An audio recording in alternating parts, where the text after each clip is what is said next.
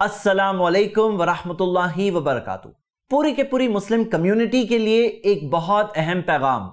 रमदान का महीना शुरू हो रहा है और पूरी की पूरी कंट्री लॉकडाउन में है।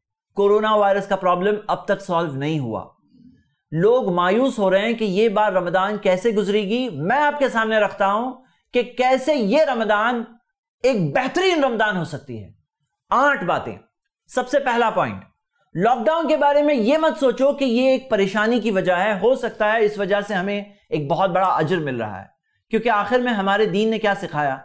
कुरान की आयत है सुरा फाइव थर्टी टू, वमन आहिया फ़कान नमा आहिया जो एक जान बचा ले, ऐसा है जैसे सारे इंसानों की जान बचा ली।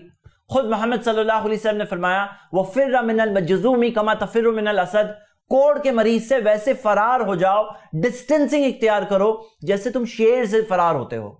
और हम देखते हैं कि इस्लाम ने खुद बताया है कि जब बाज हालात में आदमी घर में लॉकडाउन होता है, तकलीफों से दूसरों को बचाने के लिए और खुद तकलीफ़ से बचने के लिए तो उसका एक बहुत बड़ा अजर होता है। मुस्द अहमद में हदीस अल्लाह के रसूल मोहम्मद वसल्लम ने फरमाया कि पाँच लोग हैं, कान उन पाँच लोगों की गारंटी अल्लाह देता है। उसमें से पांचवा वो शख्स है मनकाद अफी बेती ही फयसलम जो शख्स अपने घर में बैठता है लोगों को अपने अंदर की तकलीफ़ से महफूज रखता है, बचाता है और अपने आप को लोगों के अंदर की तकलीफ़ से बचाता है। काना जामिन उसकी गारंटी अल्लाह ने दी है। एक और हदीस है मुस्नद अहमद में, जिसमें आता है कि अल्लाह के रसूल मोहम्मद वसल्लम ने फरमाया ताउन ऐसा कोई शख्स नहीं है जो ऐसी जगह पर है जहाँ पे ताउन आया है, प्लेग आया है। फयम कुसूफी बैत ही वो अपने घर में रहता है साबिरन, मुहतसिबन, सब्र करते हुए, सवाब की उम्मीद से, इस यकीन के साथ कि उसके साथ वही होगा जो अल्लाह ने मुकर किया है। नबी सल्लल्लाहु अलैहि वसल्लम ने फरमाया, काना लहू मिसल अजर शहीद उस शख्स को तो शहीद का अजर मिलेगा। तो ये लॉकडाउन के अंदर भी हमें अजर मिलेगा इंशाला अपनी नीयतों की वजह से। क्योंकि आखिर में कोरोना वायरस एक ऐसी बीमारी है, जो हम जानते हैं बहुत तेज़ी से फैलती, कितनी तेज़ी से आईसीएमआर की रिपोर्ट में आया है कि अगर एक शख्स को कोरोना वायरस इंफेक्शन हुआ है, और वो लॉकडाउन में नहीं है एक महीने के अंदर 406 लोगों को वो इन्फेक्ट करेगा। और वही शख्स अगर लॉकडाउन में है तो ढाई लोगों को ऑन एन एवरेज इन्फेक्ट करेगा। लोग ये कहते हैं, ये बीमारी तो सर्दी की तरह ही है। ये बताओ, क्या सर्दी इतनी तेज़ी से फैलती है? कोरोना वायरस जितनी तेज़ी से असिम्टोमेटिक बगैर सिम्टम्स के फैल जाती है। सर्दी के ना कम से कम देख सकते हैं, जैसे कोड के मरीज़ में देख सकते हैं, ये मरीज़ है इससे दूर रहो। सर्दी में भी देख सकते हैं, छींक आ रही है, जुकाम हुआ है, लेकिन ये बीमारी कितनी तेज़ी से फैलती है। अगर एक बहुत छोटे परसेंटेज का भी इंतकाल हुआ तो वो बहुत बड़ा नंबर होगा लाखों का। और छोटा परसेंटेज भी हॉस्पिटल तक पहुँचा तो एक बहुत बड़ा नंबर होगा करोड़ों में। हो सकता है कि कोई शख्स है जो कह रहा है, मुझे नहीं होगा। हम कहते हैं बहादुरी नहीं है, ये बेवकूफ़ी है। क्योंकि ये भी हो सकता है कि आपको सचमुच उस चीज़ का असर ना हो। आपका खुद का रेजिस्टेंस बॉडी का हो सकता है स्ट्रांग है। लेकिन आप वो बीमारी को कैरी करके अपने माँ बाप तक पहुँचा दो दादा दादी तक पहुँचा दो नाना नानी तक पहुँचा दो, बीवी बच्चों तक पहुँचा दो और वो लोगों का रेजिस्टेंस हो सकता है स्ट्रांग ना हो और वो इसके शिकार हो जाए तो कौन इसका जिम्मेदार है? आप खुद देखो पूरी दुनिया में इस लॉकडाउन के बावजूद डेढ़ लाख से ज़्यादा मौत हो चुकी है। और मैं वो सारे लोगों से कहता हूँ जो ये सारी कॉन्स्पिरसी थियरीज की वजह से इस मामले को सीरियसली नहीं ले रहे हैं। आप खुद जरा इतना तो सोचो कि इतनी सारी कंट्रीज़ लॉकडाउन में है। उनके पास क्या ऐसे सेंसिबल अकलमंद, समझदार लोग नहीं है क्या, जो देखकर समझ सकते हैं कि कोई प्रॉब्लम है कि नहीं है? सारे एनालिसिस करने वाले लोग जो व्हाट्सएप यूट्यूब पे बैठे हैं, जो इस तरह की कॉन्स्पिरसी वीडियोस बना रहे हैं, क्या ये सारी कंट्रीज़ के पास समझदार लोग नहीं है? तो कम से कम इतनी बात को समझ ले और हमें हमारे रिलीजन ने सिखाया कि अपनी अथॉरिटीज के साथ कॉपरेशन करो। सुनने बताओ कि सही हदीस है, अलमुस्लिमून अल्लाह शुरूती ही, मुसलमान अपने शर्तों पर होते हैं। और हम इस कंट्री के लॉज को मानते हैं, हमने अग्री किया है तो हमें अथॉरिटीज के साथ कॉपरेशन करना चाहिए। तो पहला पॉइंट क्या है? पहला पॉइंट है कि ये लॉकडाउन का भी इंशाला अजर मिल रहा है, इस रमदान के महीने में भी मिलता रहेगा इंशाला पॉइंट नंबर दो, नमाजों का मसला। हम सब जानते हैं कि पिछले कई दिनों से घरों में नमाज़ हो रही है। जमात से नमाज़ नहीं हो रही है।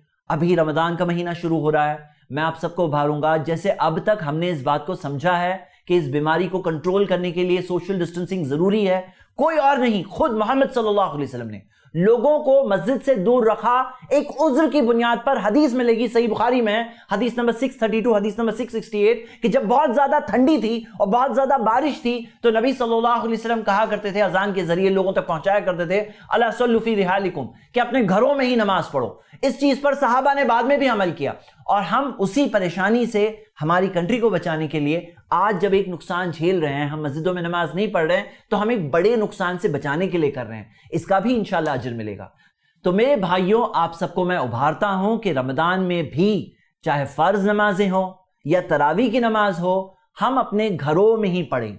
अजर पाने के लिए हम बीवी बच्चों को मिला करके जमात से नमाज़ पढ़ सकते हैं। और हमें उसका यह भी अजर मिलेगा कि हम लोगों को उस बीमारी से बचाने के लिए, अपने और अपनी फैमिली मेंबर्स को बचाने के लिए हम कर रहे हैं। ये ये एक मजबूरी है। बहुत से भाई नमाज़ पढ़ाने का कॉन्फिडेंस नहीं रखते। मैं उन भाइयों को उभारता हूँ कि आप भी पढ़ा सकते हो इंशाला कोई मुश्किल बात नहीं है। अपने घरों में आप नमाज़ पढ़ाइए, ये देखकर आपके बच्चे भी सीखेंगे और वो भी इनशाला इस चीज़ में आगे बढ़ेंगे। एक बात याद रखिए, जमात से नमाज़ पढ़ने के ताल्लुक से कि अगर आपकी बड़ी जॉइंट फैमिली है तो पूरी फैमिली को मिला करके बड़ी जमात ना बनाए। हर इंडिविजुअल फैमिली अपनी अपनी जमात से नमाज़ पढ़े, ताकि फैमिली के एक हिस्से में भी अगर कोरोना वायरस है तो बाकी हिस्से तक फैल ना जाए। और बिल्डिंग वाले सोसाइटी वाले कंपाउंड वाले मिलकर कंपाउंड में या टेरिस पर जमात से नमाज़ ना पढ़ें। हम अपनी मस्जिदों में नमाज़ की कुर्बानी दे चुके हैं और फिर यहाँ जाकर ऐसे बनाएँगे तो वो कुर्बानी का कोई मतलब नहीं रहेगा। पॉइंट नंबर तीन, इफ्तार। हम जानते हैं कि प्यारे नबी मोहम्मद सल्लल्लाहु अलैहि वसल्लम की हदीस है, मन और साइमन जो एक रोजेदार को इफ्तार कराए। काना लहू मिसल अजर ही उस इफ्तार कराने वाले को रोजा रखने वाले जितना अजर मिलेगा। इसी वजह से लोग इफ्तार की दावतें रखते हैं। इफ्तार के अंदर लोग मिलकर करते हैं। मैं आप सबको उभारता हूँ, इस हदीस में कहीं यह नहीं दिया है कि साथ में ही करना है। आप कराइए इफ्तार। ऐसे बहुत सारे मुस्तक लोग हैं, गरीब लोग हैं, जिनके पास खाने का इंतज़ाम नहीं उन तक खाना पहुंचाइए। उलमा ने बताया कि इफ्तार कराने से मुराद है पेट भर के खाना देना। तो उन तक खाना पहुंचाइए इंशाला आपको वो अजर अभी मिल सकता है इंशाला लेकिन मिलकर ना करिए, जिसके अंदर कोरोना वायरस फैलने का खतरा हो, क्या इफ्तार के साथ साथ कोरोना वायरस भी दोगे? पॉइंट नंबर चार, खाना। रमज़ान के महीने में मुस्लिम इलाकों में खाने के बहुत सारे स्टॉल्स दिखाई देते हैं। लोग वहाँ जाते हैं, खाना खाते हैं। लेकिन ये जो क्राउड निकलेगा, इसके अंदर कोरोना वायरस फैलने का बहुत बड़ा खतरा होगा। इसी वजह से मैं आप सबको उभारता हूँ कि आइए हमारे नबी सल्लल्लाहु अलैहि वसल्लम को याद करते हैं, उनके सहाबा को याद करते हैं। उनके पास तो इतना कुछ नहीं होता था। किस तरह से वो एक सादी, सिंपल ज़िंदगी जीते थे। आइए इस बार हम सब भी इरादा करें कि हम सब एक सिंपल ज़िंदगी गुजारें, खाने के मामले में एक सिंपल खाने को चूज़ करें। इसका एक बहुत बड़ा फ़ायदा यह भी है कि हमारी घर की औरतें जो कुकिंग में इतना वक्त गुजारती हैं, उनका भी वक्त बचेगा इंशाला और हम सब रमदान के मेन मकसद पर फोकस कर सकेंगे और वो है अल्लाह की इबादत करना, अल्लाह का करीबी बंदा बनना। अगर आपको ज़रूरत के सामान के लिए बाहर जाना भी है तो आपके इलाके के अंदर जो भी टाइम दिया गया है अथॉरिटीज ने दिया है, उसी टाइम के अंदर कम से कम वक्त के लिए जा करके वापस आए। पॉइंट नंबर पाँच, कपड़े। हम जानते हैं कि लोग ईद की तैयारी में नए कपड़ों का इंतज़ाम करते हैं रमदान के लिए नए कपड़ों का इंतज़ाम करते हैं। लेकिन हकीकत यह है कि नए कपड़े पहनना ईद के लिए भी कोई लाजिम और ज़रूरी नहीं है। आपके पास जो कपड़े हैं, उसमें से बेस्ट कपड़े पहनिए। हम देखते हैं, इब्न खुजैमा में सही सनत से हदीस है कि अल्लाह के रसूल सल्लल्लाहु के पास एक जुब्बा था, जो दोनों ईदों में पहनते थे और जुम्मा में भी पहनते थे। तो आपके पास जो अच्छे कपड़े हैं, वो पहनिए इनशाला और अगर करनी है शॉपिंग तो ऑनलाइन शॉपिंग भी कर सकते हैं। जैसा हम देखते हैं ऑनलाइन शॉपिंग पे रिस्ट्रिक्शंस भी हट चुके हैं। और जब लॉकडाउन ओपन होता है तो भी हमें क्राउड को कंट्रोल करना चाहिए ताकि इस क्राउड के अंदर कोरोना वायरस ना फैले। आप सबके सामने एक बहुत अहम बात रखना चाहता हूँ। गवर्नमेंट रिपोर्ट आई है कि कोरोना वायरस का जो इंडिया में पीक जो सबसे ऊंचाई पे पहुंचेगा कोरोना वायरस वो मे का एक्सपेक्टेशन है। और मे में तब रमदान चल रही होगी। पॉइंट नंबर छह गेम्स रमदान के महीने में कई इलाकों में, रातों में नौजवान खासतौर से बैठ करके गेम्स खेलते हैं बैडमिंटन खेलते हैं बाइक्स पे निकलते हैं। जब इस सिचुएशन में लॉकडाउन में हम मस्जिदों में नमाज़ नहीं पढ़ रहे, इतनी बड़ी कुर्बानी दे चुके हैं तो क्या आपको ये नहीं लगता है कि ये चीज़ की कुर्बानी भी हमें दे देना चाहिए? मैं हर एरिया के बड़ों को, बुज़ुर्गों को लीडर्स को, जिम्मेदारों को उभारता हूँ कि अपने एरिया के नौजवानों को यह बात समझाएँ और उन्हें इस चीज़ से रोककर बताएँ कि रमदान का जो मेन फोकस है, चलिए वो चीज़ करेंगे इंशाला पॉइंट नंबर सात, वो है जक़ात।